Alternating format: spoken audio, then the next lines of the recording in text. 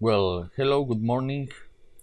Today we are starting with a new lesson, lesson 3, concurrent programming viewed as an abstraction. This is the first lesson about concurrency and the concepts we are learning here are very important in order to understand the next lessons about concurrent programming uh, with the language Java. So although it may seem that this lesson is a bit uh, boring, I suggest you that uh, pay attention to the concepts and try to understand all of them very uh, uh, very deep okay? So to make this lesson more interesting what I'm going to do is uh, basically to show you firstly the concepts I want you to know and then we are passing to the slides that explain these concepts in a more theoretical uh, way. So what we are seeing here is a first part in which we will learn how to pass from sequential programming to concurrent programming. This is the first part. In the second one, we will see the advantages and usages of concurrent programming. It is clear that from the point of view of performance, using parallel programs are much more efficient than using sequential programs. Then we will see an extremely important part of this lesson that is the inherent problems in concurrent programming.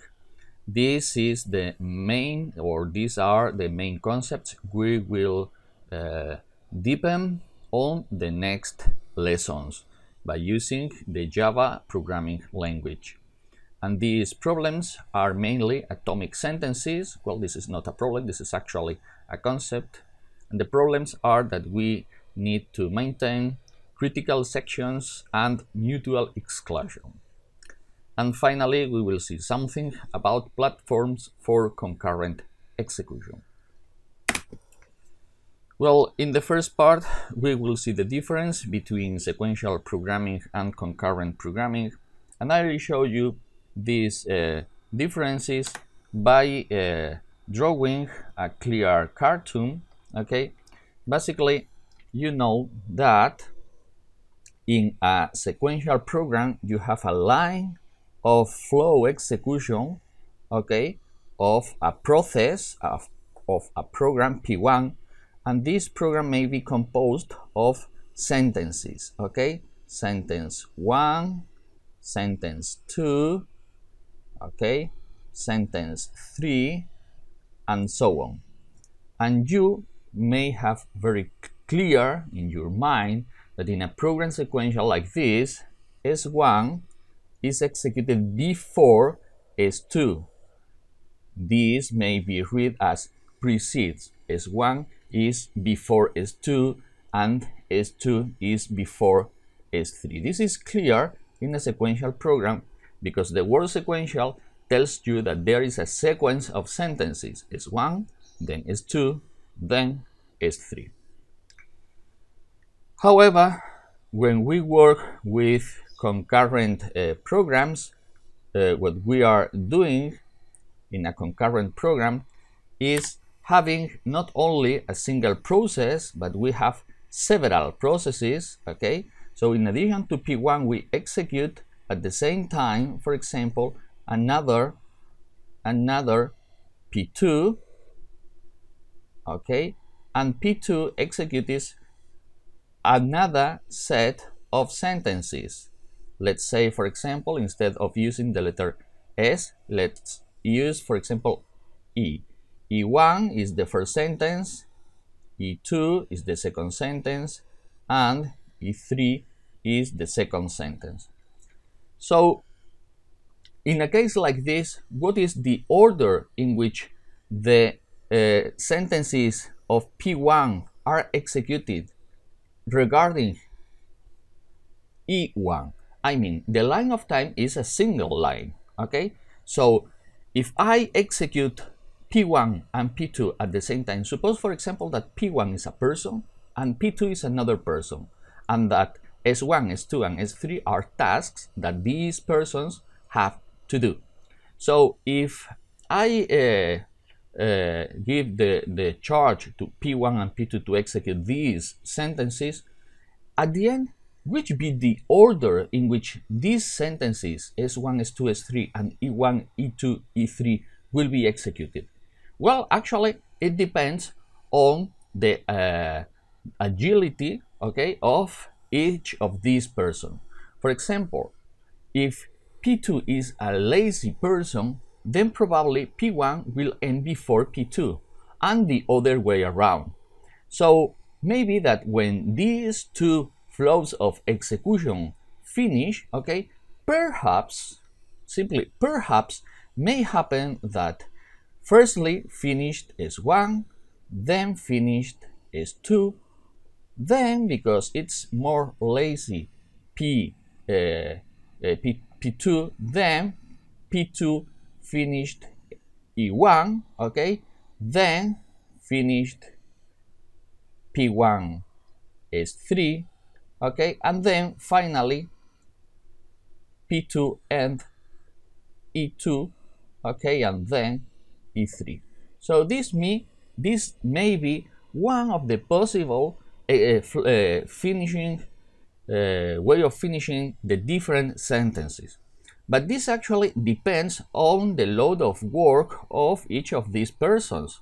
Maybe, for example, that one of these uh, person is tired, not lazy, and in general depends of the current load of work of each of these processes or persons. So sometimes, sometimes the flow of execution may be this, okay, but perhaps if you execute this again, perhaps you obtain a different order of execution. So perhaps when you execute this again, S1 finish the first, okay, but then E1 finish, then P1 is faster than, uh, sorry, P2 is faster than P1, and finish E2, then is P1 who ends S2, okay, and then P2 ends E3, and finally P1 ends S3. Okay, so when we talk of a single of a single uh, process like this, a single process, in a single process like this, we may be sure that we'll finish firstly this, then this, and then this. Okay, but when we talk about processes that are parallel to processes in this case, we cannot guarantee the order of execution. Sometimes the order of execution may be this, okay, but perhaps when you execute this again, you obtain a different order of execution. So in the end, we may have different orders of execution in parallel programs. This is shown here where it's explained that the idea is uh, uh, to execute uh, programs in computers, okay, and that basically in a sequential program, in each clock cycle, an instruction is fetched from memory, is decodified and executed, and then it has a particular order. For example, if this is a sequential program, P1, P2 uh, until Pn, P1 executes before P2, P2 before P3, Pn minus 1 before Pn.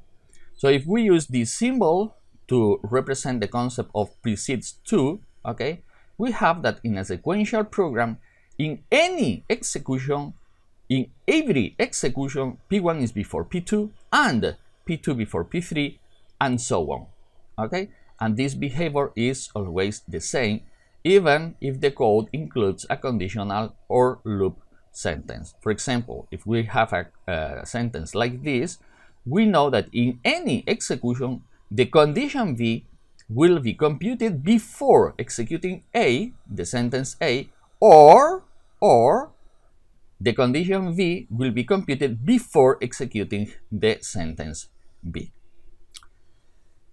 Well, if we have a while program, we know that for any execution, firstly, we will compute the condition, then or, or, we compute the condition and we exit, or we compute the condition, we execute A, we compute the condition and we exit, or we compute the condition, we execute A, we compute the condition, if it is true, we, uh, we execute A, then we compute the condition, and because it is false, we exit, and so on. So the number of times that the condition is executed depends on the input. Okay, so basically the final conclusion is that our program is deterministic. Given a program and an input data set, it can be predicted which is the next sentence to execute because the sentences are ex strictly ordered. Okay, are strictly ordered. However, in concurrent programming, this may not happen. Suppose, for example, that this first sentence is executed by one processor. This is executed by another processor, and this is executed by a different processor. Okay? so, well, in a, uh, uh, when we execute these three sentences by different processors, the final order in which these sentences can be executed may be different. For example, firstly, the processor 1 may be execute, may execute the first sentence, then the process 2 executes the second one, and finally the third processor executes the third one. But may happen that the third processor finishes before the second processor, okay? And the first processor finishes the first, or maybe different orders of execution. Okay, so not all the sentences of a program, of a concurrent program, when different sentences are executed by different processors, okay, the, then the program is not executed sequentially. So the order is not deterministic. In a case like this, the code can be executed in six different orders.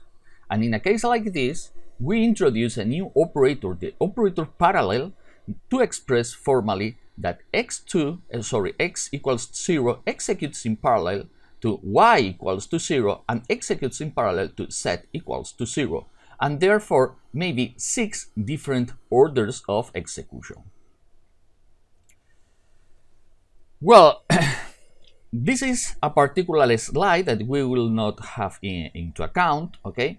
Because actually we assume that a sentence is executed uh, when finished, okay? But sometimes we may uh, think, okay, we may think that if simply if we have two sentences because the sentences executes uh, overlapped, okay, and, and, by different processors may be executed uh, overlapping, okay, we may conclude that may exist executions in which we may say that a, uh, neither P uh, finishes uh, before Q or Q finishes before P. Okay, but anyway, this is a, a slide that we're going to, to skip uh, and, and to take only into account to know that maybe overlapping, okay? But in general, we are going to work with situations like this. Okay, so how to understand well the meaning of uh, an execution like P in parallel to Q? Well, to understand this correctly, the idea is that we have two real processors. You may think that processors are like persons executing things. So when you put two processors to execute something at the same time, is the same as having two persons working at the same time in the same room. Okay? In general, we assume we assume that perhaps, okay, perhaps we may have a computer with two processors, two CPUs, two cores, okay, and in general we may have, for example, 10 pro, uh, processes, okay. So if we have 10 processes and only two processors, okay, well, the idea is that we are going to assume that we have 10 virtual processors, okay? Perhaps there is a time uh, slicing to assign different uh, processes to each proce processor, Okay, but in general, if we have 10 processes executing in parallel, we will assume that we have 10 virtual persons executing each uh, process, okay, in parallel. So to work in parallel, we don't need actually parallel processors. Simply, we need uh, to think on it, okay? We need to think that we have these parallel processors as if they uh, may be as if they be virtual processors, okay? So then we may say that if we have a, a process like this with these sentences P1 until Pn and another process uh, Q with sentences uh, from Q1 to Qm, okay, we interpret that the execution in parallel P and Q, okay, in a simple, in a, in uh, when there is a real processor uh, alone, is with time slicing, okay, and these are when we have these two possibilities, for example, we say, let's say that P has two sentences and Q has three sentences, then these three represent the 10 different valid executions, okay, on a single processor. I mean, the sentences are interleaved, okay, so P in parallel with Q generates an execution tree. And each branch of the tree is a valid execution of P in parallel with Q. Okay, so when we execute parallel programs, we should take into account that any of the executions of these types of trees is a valid one. Okay, so we must be extremely careful in that any of them be a correct result of our program. Okay, for example, this is one of all these possible executions, okay? Perhaps when we execute this again, we obtain a different uh, order of execution, okay? This way, we have here that the different sentences of P in parallel with uh, Q uh, define a partial order and perhaps not all the merge are valid. Suppose, for example, that we have uh, three persons working, okay? The first person must order a stack of documents. The second one has to sort another stack of documents. And, and the third person must put both stacks of documents into a bookshelf then it is clear that the third person must wait for the other two persons to finish. So, if we execute the three at the same time, we need some type of coordination in order the third person to execute after the first two persons finish. Okay, so in this case, not all merge of the execution of these persons is valid. Okay, so in any case, it is clear that the internal order of the sentences in each person in P and Q must remain, okay? So, uh, well, in any execution, okay, in any execution, if I is lower than J, okay, Pi must be executed before Pj, and, and the same with uh, Q, okay?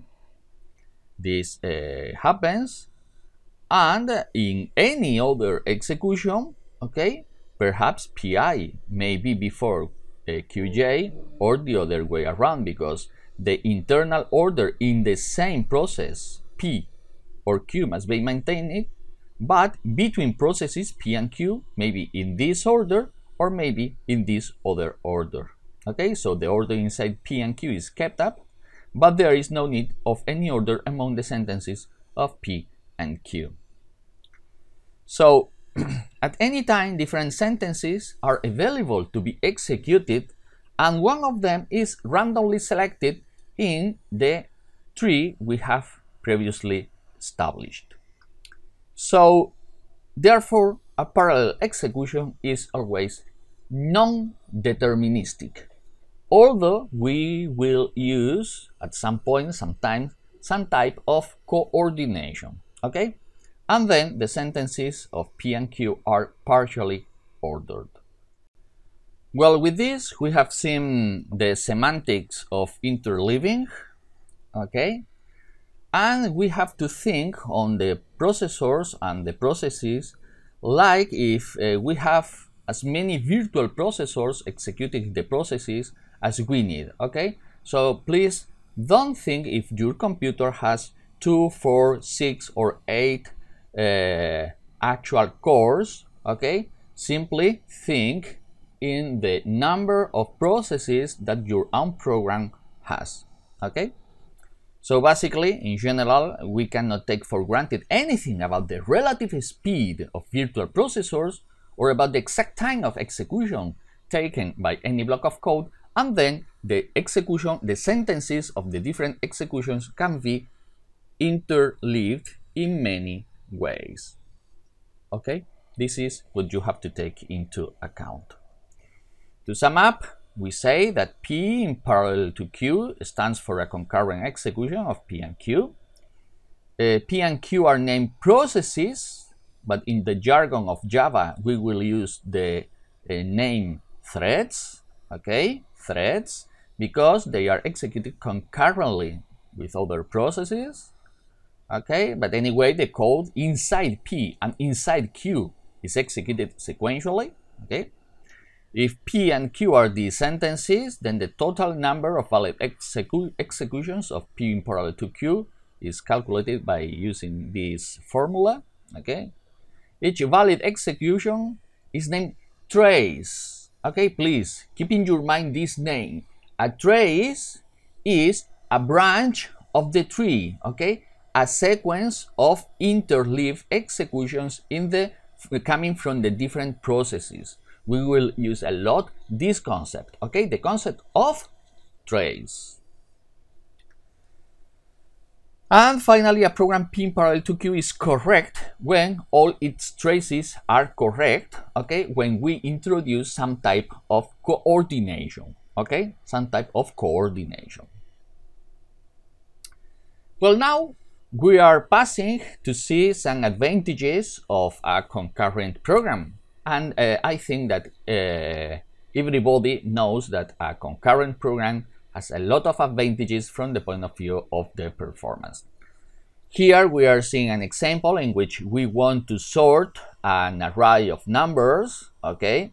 For example, in a case uh, like this, we want to sort this array of items, okay? And then we uh, start sorting, for example, in, in a case uh, like this, we uh, know that the first one is sorted, then we go to the second one, we sort the second one, we put the second one in its correct position here, then we work with the zero, then we put the zero in its correct position, shifting it to the left until it goes to the first position.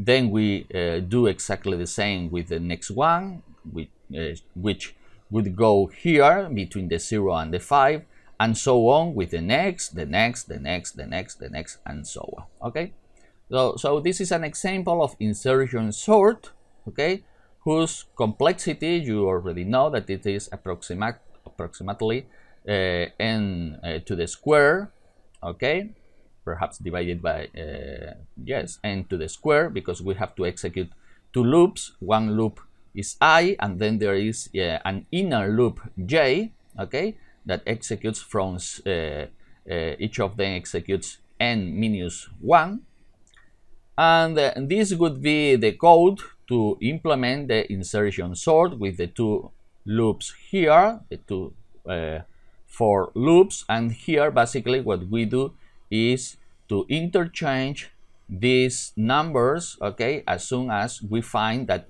they should be shifted to the left. Okay?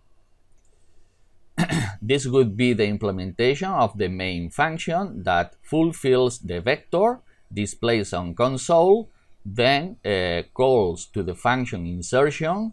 The function insertion is this in the public class insert, okay? And finally display the vector already sorted. However, we could use here uh, a concurrent implementation following the next approach. Suppose that we have this array to be sorted, okay? And, well, suppose, let's remove this. Suppose that we have this uh, array to be sorted, okay? And uh, the length is n. Okay, you know that in the insertion sort, this takes approximately n to the square to be sorted. But what would happen if we take a concurrent approach in which we divide this vector in the middle? In the middle. Then we sort this part, which would take n divided by 2 to the square. That in the end would be n to the square divided by 4. Okay? And other processor, other processor at the same time sort this. Okay? At the same time sorts this. And this takes the same n divided by 2 to the square. And this is approximately this. So in this time, this is executed at the same time than this. So sorting both halves takes this number, this time, okay?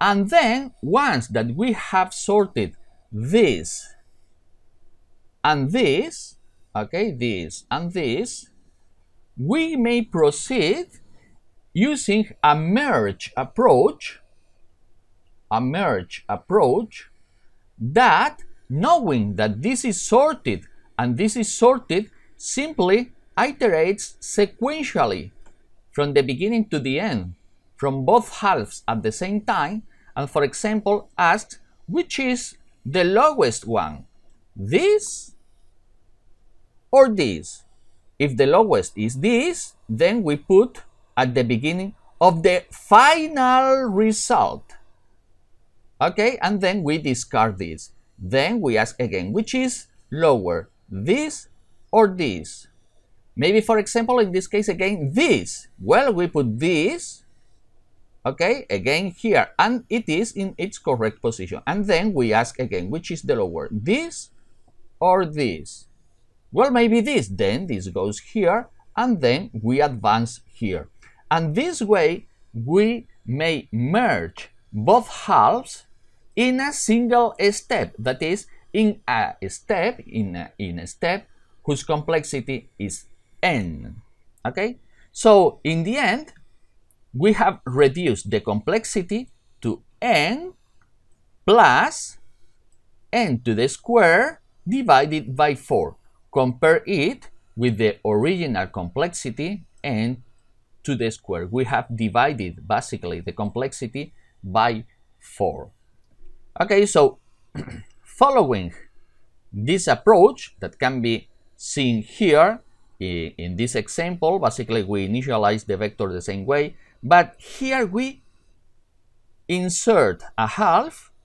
In this case, we are doing this sequentially, okay? We insert uh, the next, okay? And finally we merge. But what would happen, okay? What would happen if we execute this and this in parallel, okay? If we execute them in parallel, this is the sentences that we uh, should write in Java. I don't uh, expect that you understand it now, but simply this is the idea, okay? This is the, the idea. If we execute this in parallel, we will achieve a higher uh, performance, okay? We will achieve a higher performance. So this would be approximately the complexity of uh, mm, one of the executions, I say this is approximately the complexity of the sequential case, the sequential case with two invocations, and the case of the parallel. You may see here that in the case of the parallel uh, and in the case of the sequential, uh, here appears n to the square divided by 2, okay, whereas I've written this, I have simplified in this case, okay, I've used the big numbers, so the real complexity is this divided by 2, okay, in the case of sequential, and then the case of parallel, because this should be divided by 2, this is divided by 8, okay, so these are the real uh, complexities that we could achieve, okay. So you may see here how we obtain uh, um, a better performance when we execute this from a parallel point of view.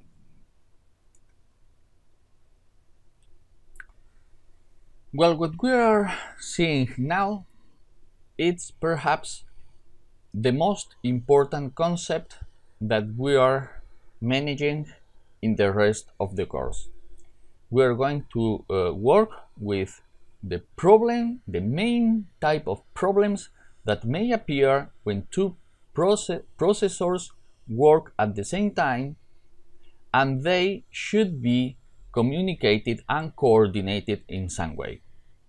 Well, first of all, let's see that in a program, okay, when we have several processors uh, working, perhaps they should work on a common or in a shared resource okay? For example for example suppose that we have a global variable x okay and that both users should work with this global variable okay? Perhaps a good way to communicate uh, one processor with a different processor would be by means of x. X is like a postal letter that you send okay by by royal post uh, postage okay from one sender to a receiver okay? This may be a way to communicate a sender with a receiver by means of a global variable accessible by both processors okay? A different approach mainly when the processors are in different computers and then there is no global variable in shared memory okay? Doesn't exist the concept of shared memory because the processors are not in the same computer but they are in different computers. In a case like this the communication should be uh, executed by by uh, the network okay and then we can use the concept of message passing okay message passing is simply passing some information, some piece of data through the network from a processor to a different processor. this is an example. Let's uh, focus in this course on the concept of shared memory, okay, working in the same computer with different processors. And this, the, this case where the sender puts some information into the global variable and this value must be received by another processor, okay? Take into account that because the sender and the receiver are working at the same time, what would happen if the receiver executes the uh, asking the, the content of X before the sender puts the message, put the value into X. Okay? Well, in a case like this, the receiver uh, could be take the value of x from the mailbox, okay, from the post box, before the value is put by the sender, and this cannot be allowed. So this is an example of synchronization condition.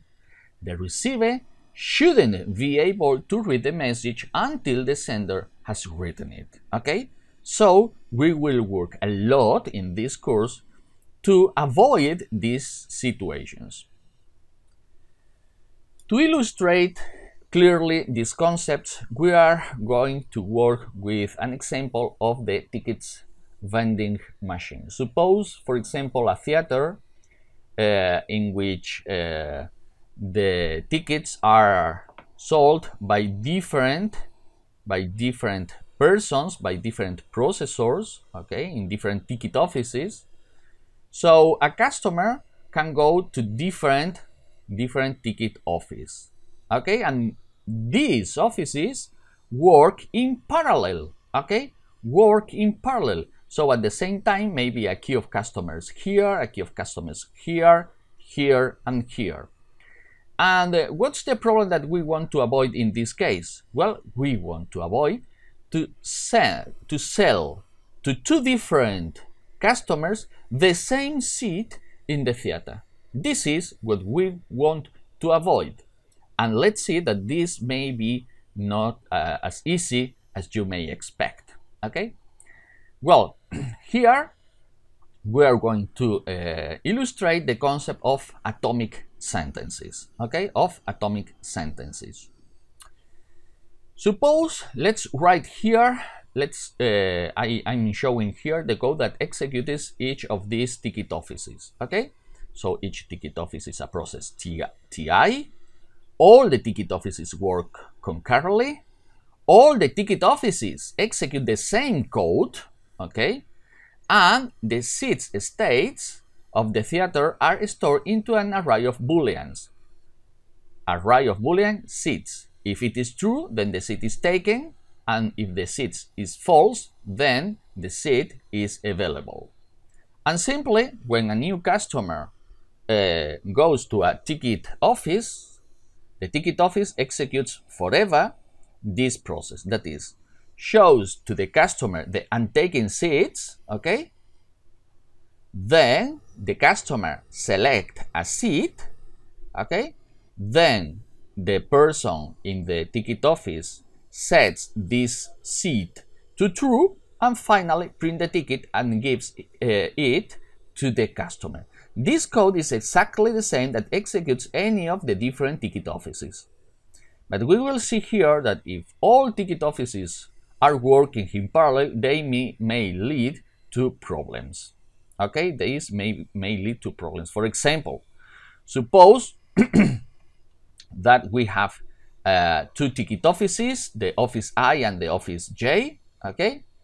And uh, at the same time comes to these two ticket offices two customers okay then the two persons uh, the, the two persons in the ticket office show the untaken seats to both customers and suppose that now by chance both customers select the same seat for example the seat number 22 then both persons in the ticket office okay both uh, vendors set the same seat to true at the same time, okay? And then both of them print the ticket. And this happened because when both customers saw the untaken seats, both of them, both customers, saw that the seat 22 was empty at the same time, and they selected this, uh, this seat. So this is an execution trace that is a branch of the tree which behaves incorrectly. This is a possible trace, this is a trace, but this is an incorrect trace that we should avoid in our parallel program. Okay? And a trace like this is useful to show that a program is incorrect. Okay? Because the seed number 22 has been assigned to two different customers. The problem here, okay, is uh, that the, the users have seen them, uh, the, the seats available. Perhaps we should change uh, this and we could add that after the user select the seat, we check again if the seat uh, is available. But uh, well, this would lead to the same error because, for example, if both of them check this at the same time, check the seat 22 as untaken, and then both of them execute this if at the same time, okay, both of them will see that is untaken, and then both of them will execute this at the same time. So we have the same problem as before, okay? But well, anyway, now we have located exactly the lines in which uh, the problem appear. Okay, so the problem here is that these two lines can be executed in this in this trace and we should avoid this that is the idea is that when the if is executed the correct way should be to set this immediately to true okay, to avoid that any other person, any other customer could check that this seed is to false, okay? If these two sentences could be executed as atomic, okay, as atomic, that is, this could be translated into machine code, okay? But anyway, the idea is if we could execute these four sentences, these four sentences, load the seeds A to a CPU register, test that the value of the seeds A in the CPU register is uh, false, then jump to L1 if it is true, and if not, then seeds A to true. If these sentences could be executed immediately, instantaneously, then the problem would disappear. Because, because this couldn't happen. This line should be executed at the same than this. This is the trace with the error. Okay, this is the trace with the error. So if we could uh, guarantee that the uh, that these uh, highlighted lines are executed at the same time, then the problem would disappear. Okay, so here it's important to realize that the uh, if the concept of atomic sentence, that is the concept of a block of sentences uh, that is executed in a single uh, step as atomic, this concept would resolve many problems of coherence and uh, inconcurrency. Okay, so valid interleavings would be only those which happens before or after, but never interleaved. Okay, never in the middle. So this would resolve our problem. This leads us to the concept of a critical section. Okay, because an atomic sentence mm, is actually a, a, a machine code that is executed by the CPU. It's not a set of uh, instructions. So here we create the concept of critical section. The concept of critical section is simply a block of code in a process that ought to be executed as atomic, okay? That should be executed as atomic. And when two critical sections of two different processes uh, cannot be overlapped when execute, okay, then we say that they execute in mutual exclusion, okay? I mean, if this is a critical section in the process 1 and this is the critical section in the process 2, okay, then we know that if this is in execution, this cannot be in execution, okay? So they are mutually exclusive, okay? They are mutually exclusive. This may be represented this way. If the critical section of I and the critical section of J are critical regions of the processes Ti and Tj, then the mutual exclusion states that for any execution or completely the critical uh, se uh, section of I is executed before the critical section of J or the other way around, but they cannot be interleaved in any case. In any case.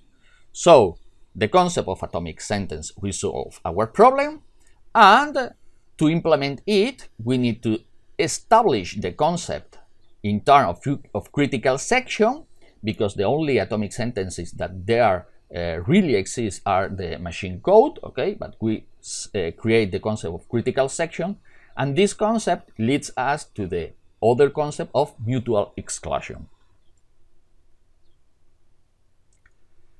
Well, to finish, we have now only other three slides in which we explain uh, superficially mm, the different platforms in which we may work uh, in, a, in a single system, I mean without a distributed uh, system, okay? So in a single processor system, that is a computer with a single processor, only one core, okay, only one core, well, the only way to implement the concurrency to simulate concurrency because in this if you have a single person working you cannot do parallel things, you may simulate it, okay? So you can interleave the sentences of the processes. That is, you execute a first sentence of the first process, then the same person or the same CPU executes uh, another sentence of the second process, and so on. So it's using the, the single line of time to do different things of different processes. It is useful to serve many users with a single computer. Okay, this is a, a, an approach that was used a, uh, a lot in, in very old computers. When a process executes uh, some operation that blocks uh, the input output, okay, for example, waiting for an input from the user that takes a lot of time in comparison to the uh, speed of the CPU, then the idle CPU cycles can be used to execute other processes. That is, the CPU can execute other things while it's waiting the, the user. In this type of uh, computers, the memory is shared by all processes because it's only accessed by a single processor. Okay, so communication between processors, uh, sorry, between processes is straightforward by means of shared memory and because uh, there is a single person, a single CPU, a single uh, processor executing everything and then it has access to the different uh, memory of the different processes. But anyway, in addition, communications by means of message passing are also allowed.